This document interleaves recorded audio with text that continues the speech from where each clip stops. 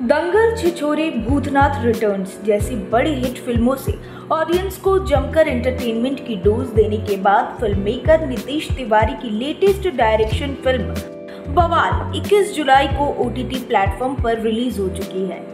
ये tragic romantic film 2023 की most awaited फ़िल्मों में से एक थी। बता दें कि वरुण धवन और जानवी कपूर की जोड़ी पहली बार स्क्रीन पर नज़र आई है। तो चलिए जानते हैं कि लोगों को ये फ़िल्म कैसी लगी। दरअसल, वरुण धवन और जानवी कपूर की फ़िल्म बवाल का प्रीमियर ओ टी प्लेटफॉर्म पर आ चुकी है। वही अब इस फ़िल्म को देखने वाले लोगों ने ट्विटर पर अपना रिव्यू भी शेयर किया है। बता दें कि फ़िल्म के लोगों ने काफ़ी तारीफ़ की है। वही कई ने तो इस फ़िल्म को इस साल का सुपर हिट बता दिया है। तो वही कईयों ने वरुण और जानवी की एक्टिंग की खूब तारीफ़ भी की है। बता दें कि एक यूज़र ने तो ऐसा तक लिख दिया कि वरुण धवन अपनी एक्टिंग से हमेशा ही लोगों का दिल जीत लेते हैं। वही आपको बता दें कि ट्रेंड एनालिस्टों ने भी ट्वीट कर इस फ़िल्म का रिव्यू शेयर किया है।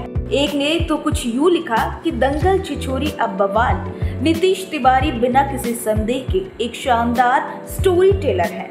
इस फ़िल्म में एक रिफ्रेशिंग यूनिक और डिफरेंट प्लॉट है।